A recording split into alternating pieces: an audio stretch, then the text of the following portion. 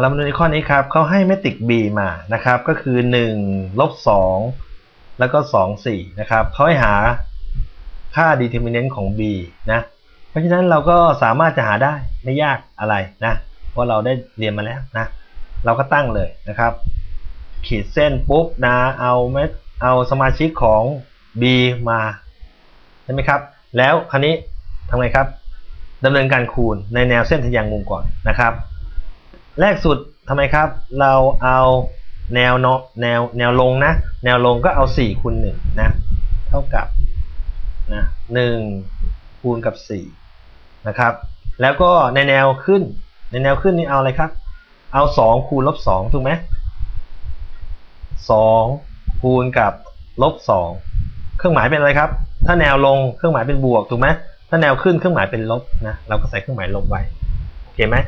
นะ แนวลงเครื่องหมายเป็นบวก แนวขึ้นเครื่องหมายเป็นลบนะแค่นี้เอง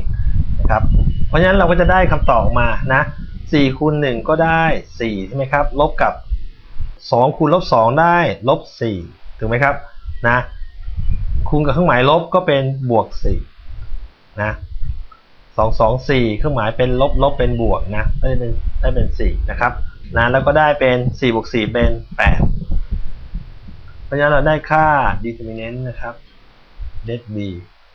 นะครับมีค่าเท่ากับ 8 โอเคไหมนะครับ เดี๋ยวเรามาดูในตัวอย่างถัดไปนะครับ